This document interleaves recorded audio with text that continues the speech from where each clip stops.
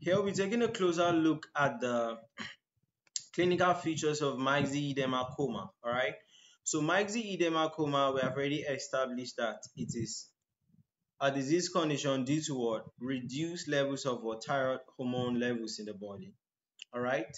So here we'll define it. After defining it, then we still go to talk about what uh, the clinical features, right? Because here we're just here for the clinical features, right? So we will be working with this picture because it has a lot of information. They'll be looking at what this slide too.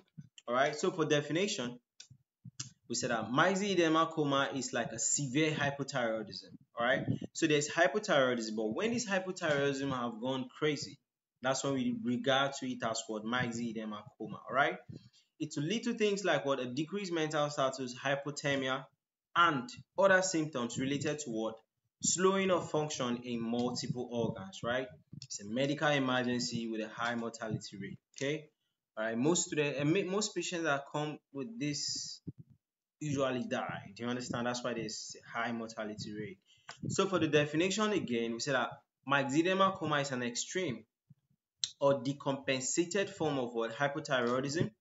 While it is uncommon, it is potentially lethal. That means what? The possibility of this causing a death is very high all right? All right? So sometimes a patient a, patient may, may have what? Normal laboratory values identical to a normal hypothyroid state. But a stressful event can precipitate the myxedema coma all right?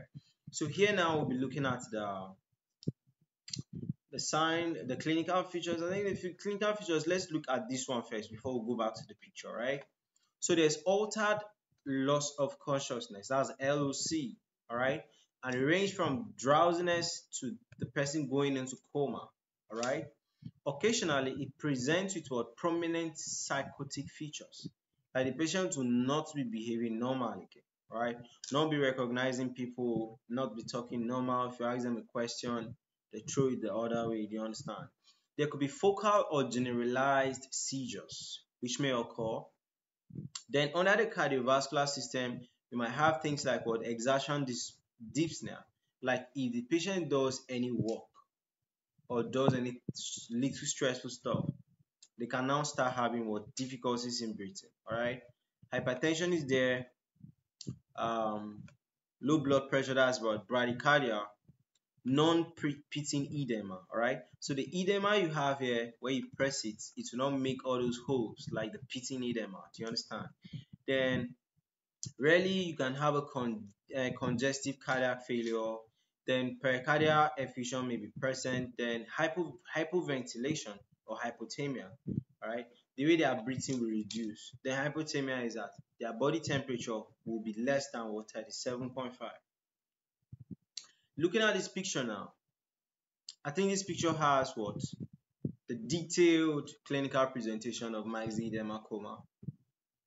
For the eyebrows, they might be losing the eyebrows. Of course, any condition of the thyroid gland presents with an enlarged thyroid as a goiter. They have to be beating slowly, that's bradycardia. Poor appetite. They won't want to be eating again. You understand? Infertility and the woman will be having heavy menstruation that's for the females right? Carpal tunnel syndrome I come true thinning of the hair or hair loss on the hair. Can you see this?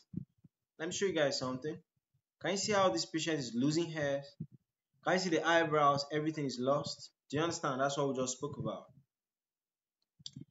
Then there will be non-pitting edema of the skin. We spoke about that. Then there'll be constipation as you're having poor appetite, the little you eat is still constipated, right? So these are the clinical features of myxedema coma. And when you're talking about clinical features, it's like you're talking about the signs and symptoms of a disease condition.